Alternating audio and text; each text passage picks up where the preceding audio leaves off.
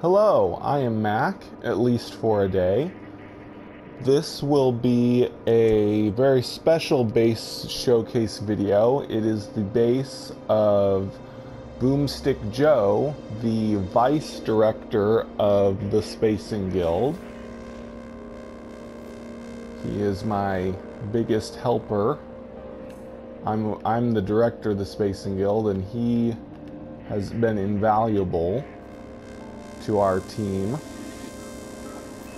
So I'm very excited to get to do his base showcase. He not only visits lots and lots of clients for the Spacing Guild, visiting people's bases and placing communication stations um, at, on their planets, but he also created our website and helps me to continue to improve the website and he also um, just generally is a huge encouragement for the guild, and he's incredibly talented. Um,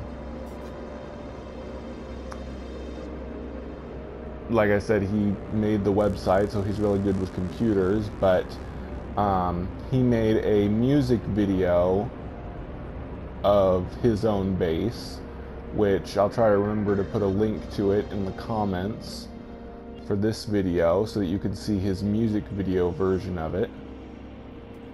And I, so I knew I really wanted to come to his base because as you can see it's really cool looking. I've never been here but I've seen it many times. I've watched his video of it several times. It's pretty much, yep, pretty much the way it is in the video. Yep. And another awesome thing is, oh, there it is. His planet has giant diplos. Giant mega diplos. Look at that thing. It's the kind with the big, I don't know if, I don't know if you'd call it mushroom head. It looks kind of like a mushroom or something. It's not really a snake head. Some diplos have snake heads but this has I don't know this just this weird fin thing looks almost like a, a stingray head or something. Can't even see its eyes. It seems to be covered up by the fin. But it and it's huge. See just how big are these things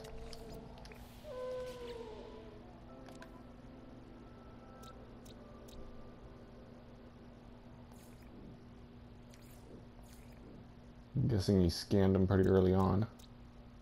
Here we are. Um, 7, 7.8 meters, which is actually not the maximum. Uh, 8 some meters is the tallest creatures can be, I think. But still pretty huge. Pretty close to max size.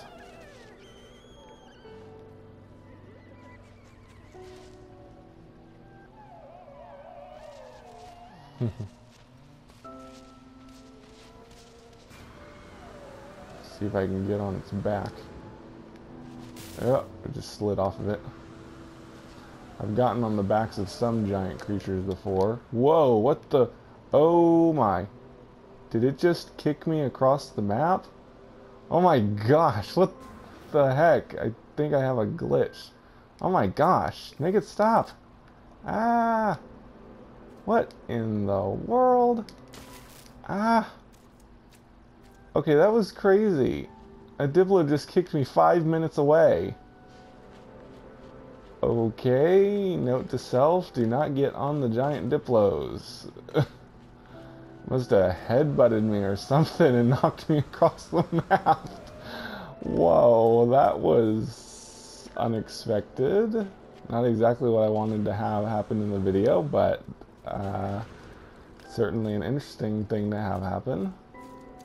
It's just unfortunate it's going to take me five minutes to get back over there.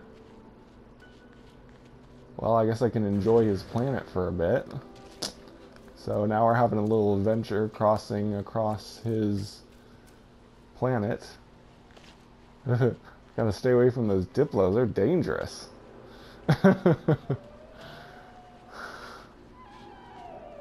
wow. So this planet's very green and yellow.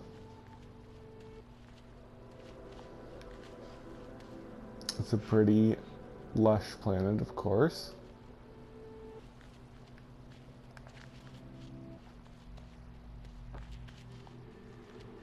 So anyways, he's got a really neat race on his base. Oh, there's the other version of the Diplo. It does not have the the head fin. I guess I'll be sexist and say that I think this is the female version. At least you can see the females' faces.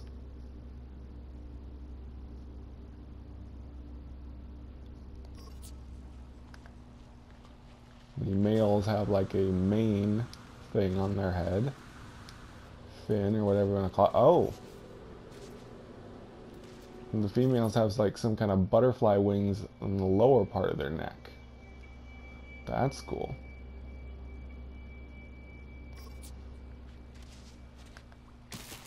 Wow. Boomstick Joe's base is really close to a, a somewhat small um, hub. A hub is just an area that a lot of players have gathered around. I noticed several different players discovering stars around here. I gotta remember to ask Joe again what he said the hub was called.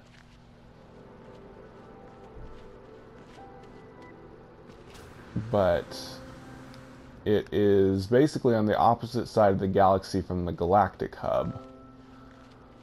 Um, and I believe this hub is also a member of the Galactic Federation on Reddit. Galactic Federation is just uh, another subreddit that is trying to join all the different hubs onto one wiki, basically, so that um, players, new players, and all that can see all the different places in the Euclid galaxy and the next two galaxies after it. They can see what all the hubs are that um, you know that they could go to if they want to. And it would be cool if there was enough hubs in like if enough hubs sprang up in the in the Euclid galaxy that basically anytime a new player starts, they'll be not too far away from a nearby hub. Of course, the Galactic Hub is still the largest. Um, an Amino Hub, I think, is kind of the second largest. Um, three or four of my Spacing Guild members went on kind of a diplomatic mission to the Amino Hub, um, which was actually turned out pretty successfully. I posted several posts on Reddit, uh, different subreddits that um, that they were there on that diplomatic mission, and I think we got like four four clients that gave us their coordinates. I put them on the mission board. One was a PC player, and the other three were PS4. Um, I'll probably have to. I'll probably mention all this again in my um, my my Spacing Guild weekly update, weekly report. So I won't won't say too much more. I'll go over all that this weekend. But anyway, here we are back at his base after I got thrown across the planet by a Diplo. I'm not going to try riding on their backs again. Um, so as you can see, he's got really cool setup here. Lots of floating objects that just look cool. I gotta try that out. That looks just like a like the um, like an Atlas station, like a mini Atlas station. I gotta try some of those new shapes. And he's got ramps and stuff that are part of his race. So after I check out the inside of his base, we're going to um, I'm gonna do the race and see how good of a time I can get.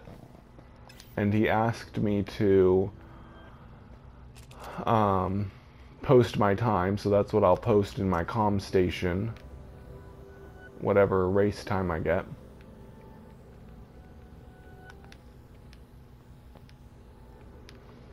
Wow, he's a pretty good decorator.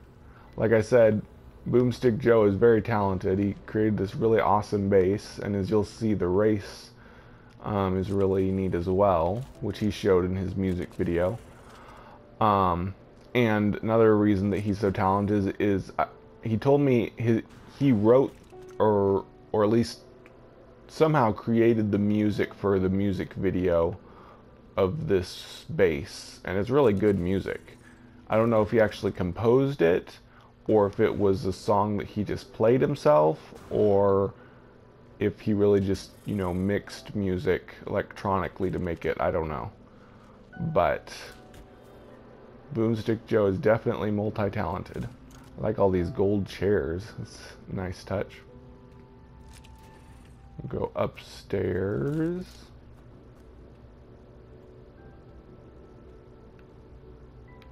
And of course this is PS4 if anyone's wondering, so you really can have a base this nice on PS4 without increasing the limit. He, he told me that a lot of these different shapes and stuff are pretty cheap as far as uh, complexity cost goes when you're building a base. When you run out of complexity, you can't build anymore, but all this stuff doesn't cost too much. It's more it's more like the gardening and things that cost a lot and it looks like he doesn't have a whole lot of garden set up, so that's why he was able to fit so much else in it. Oh. Okay, so I haven't been up here yet. Oh good, he's got a galactic trade terminal. And yeah, he doesn't really have a lot of farming. I'm guessing he probably put his farm in his freighter and just wanted to have a really cool looking base for his planet base.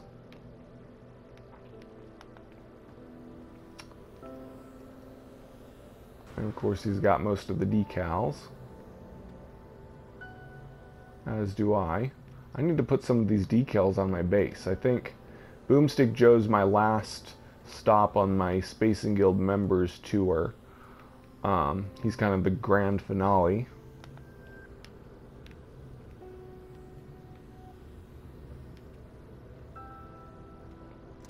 So now I'm going to do his race.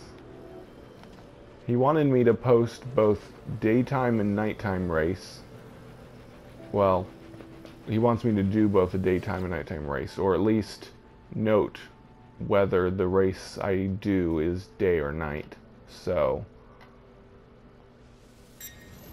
see how good I... What the... Okay, this is weird because this isn't the vehicle that Oh no. This is all wrong. Okay. Uh, uh, okay. Starting race over. Why, why did it... It's supposed to be the hover one, not that one. Maybe I need to change my current...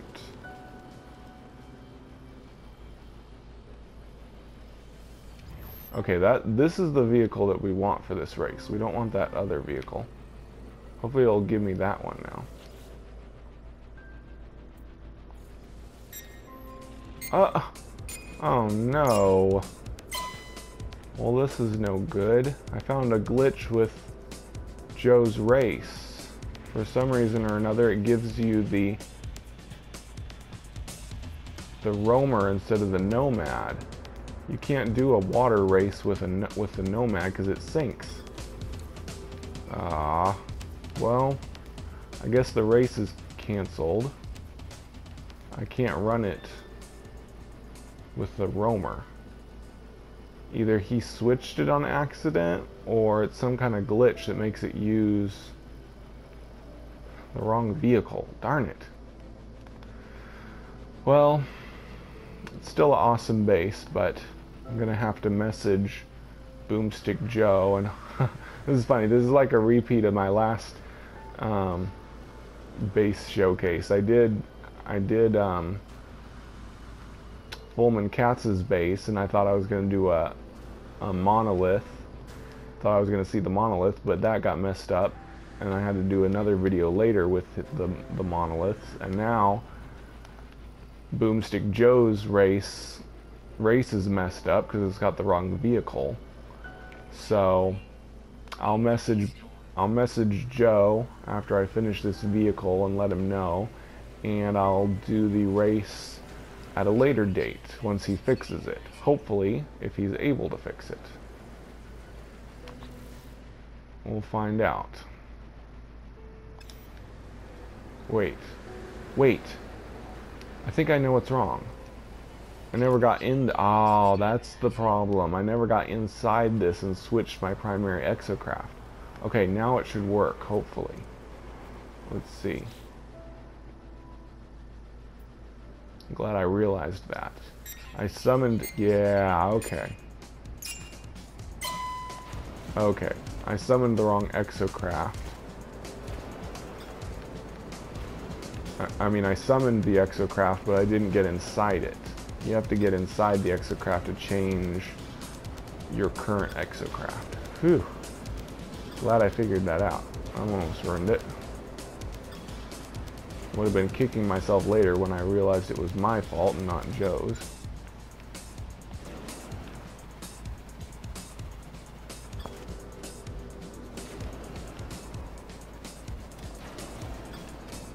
You know, this is basically playing with your friends in No Man's Sky. I've made friends as a result of playing No Man's Sky, and now I'm participating in a race made by my friend in No Man's Sky. So when Sean Murray said that you would be able to play with your friends, it wasn't a total lie. At least if they were planning to do this kind of thing all along. Of course, we didn't have this when the game first came out, so I guess it's a legitimate complaint that we didn't have any way to interact with other players other than naming stuff when the game first came out, but now we can make bases and races for each other.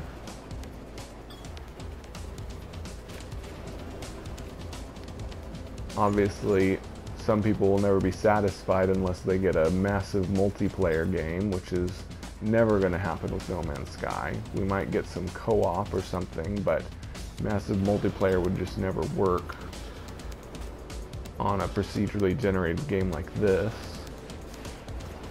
It has to be a persistent universe to have massive multiplayer. Just like Minecraft. Minecraft isn't massive multiplayer. You can have co-op, you can invite somebody onto your system to play in your world, but they've got to have some kind of system to yeah. I gotta concentrate on this or oh darn it. I need to be up on that ramp. I'm not gonna get a very good time because I'm gabbing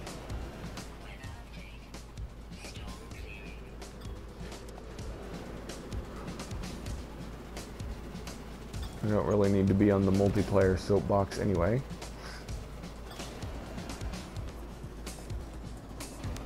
I truly believe that what No Man's Sky really needs is more variety, not multiplayer.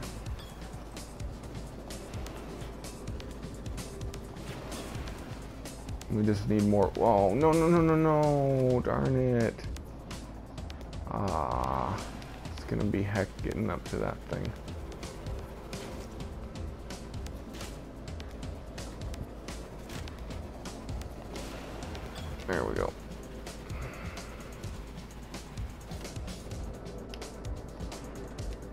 Uh-oh. Oh no, come on. How do I go up? Faster. Ah. ah. This is annoying. Slowly rising. Okay.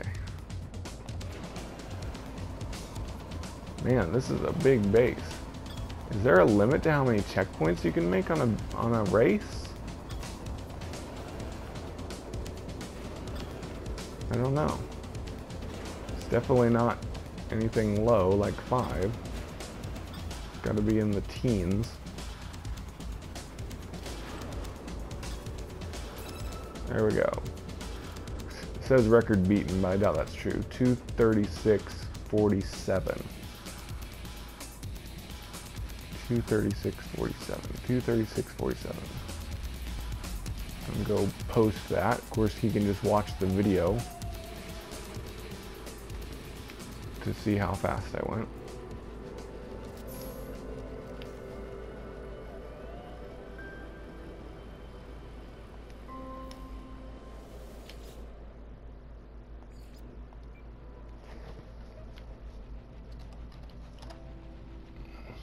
Two thirty six forty seven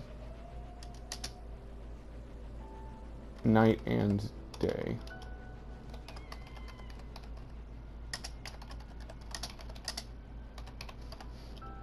Now the funny thing is,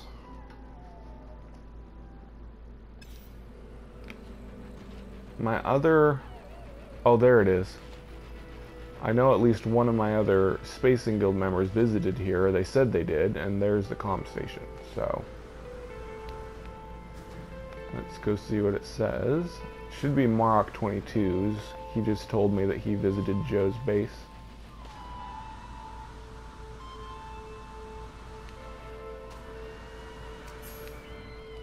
Nice spot, Joe. Uh, 258. I think I beat... Oh, that's Old McReaper. 258.5 seconds. So I think I beat Old McReaper. Old McReaper's time. That's good at least.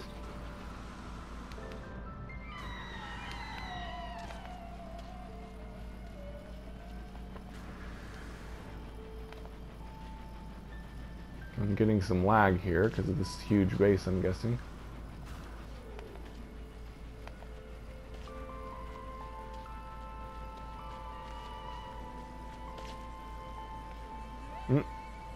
Where is... Where's the comp station I just set? Did it despawn? Some of my some of my guild members have been saying that comp stations seem to despawn sometimes. Might be because of all the lag from the base. Huh. Darn it. Am I just not seeing it, or did it despawn?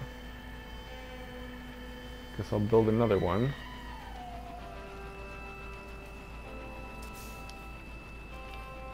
I want the color stay the same.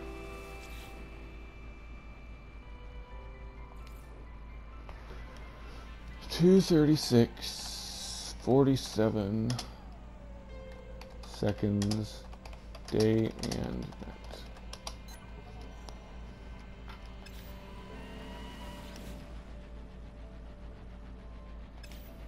Hopefully it won't despawn again. Oh, there's more com stations four hours away, so I guess I'll fly to them. Might as well. I like the little lanterns, that's a nice touch.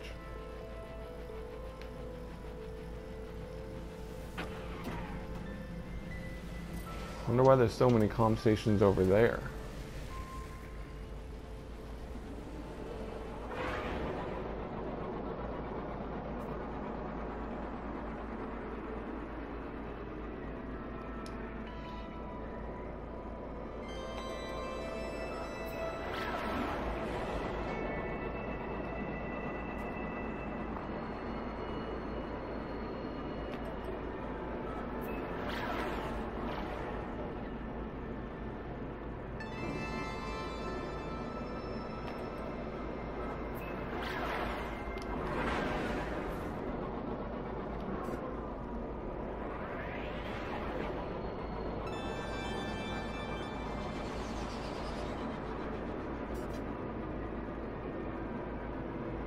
Both on this plant, uh, this island.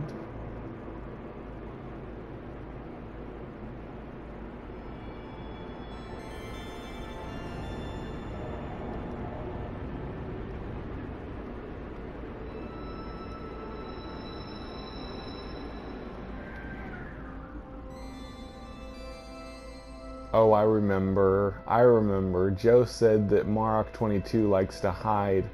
Whoops hide com stations underground. That's what it was. So one of these is Mark 22s. It's probably this one, which is below my feet somewhere. Hmm. Oh. That's the other one. Where'd this one go? There it is. So let's tunnel to it, I guess. Oh. There we go.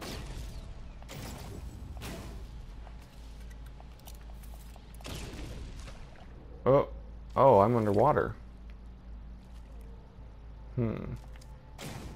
Did he, I think he, he must have hidden it underwater. I'm gonna have to hurry or I'm gonna drown. I don't have any water breathing upgrades on in this game. Oh my god. OMG, what are you doing here? uh, so that's Mark 22's com station he left here. And we'll see who the other person is. I'm guessing the other person is Rabbit Gripper. I think Rabbit Gripper said he also visited Joe's base.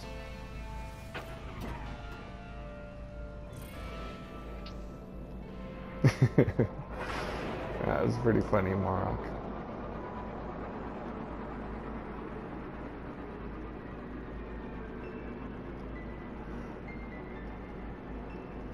it's pretty cool that there are com stations from these guys way over at my base in the Galactic Hub, and now we're leaving each other com stations here on the opposite side of the galaxy. Us Spacing Guild members really get around. We Spacing Guild members. Welcome to Trader Joe's. Oh, this must be Joe's Joe's com station. Trader Joe's. Oh. That's a good one. Trader Joe's. So Boomstick Joe is calling this Trader Joe's.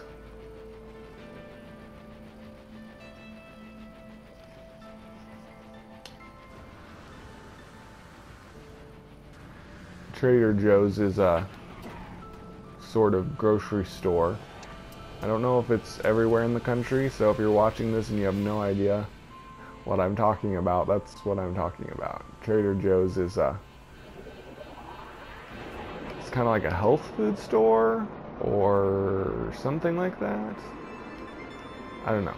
My mom shops there. She's a health food nut, so probably sort of health food.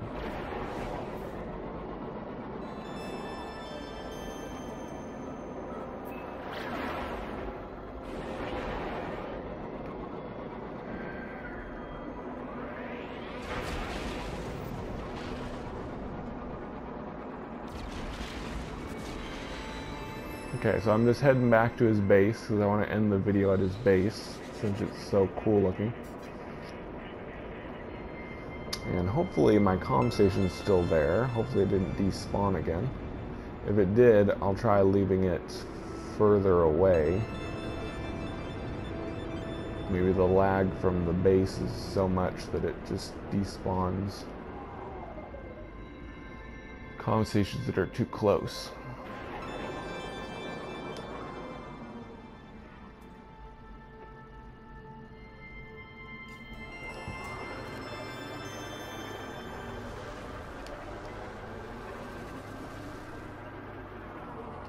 Sure hope I don't. Hope, hope my game doesn't crash. That would be sad if I ruined this whole thing. Okay, good. My com station's still there. Alright. One more look at these crazy Diplos that kicked me across the planet. So, this has been Boomstick Joe's base the vice director of the Spacing Guild, my friend, and great helper. I could honestly, the Spacing Guild would not be what it is today without him.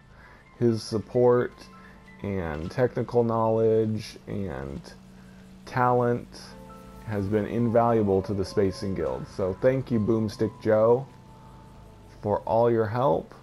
And this is one pretty awesome base. Thank you all for watching, and I'll catch you in the next video.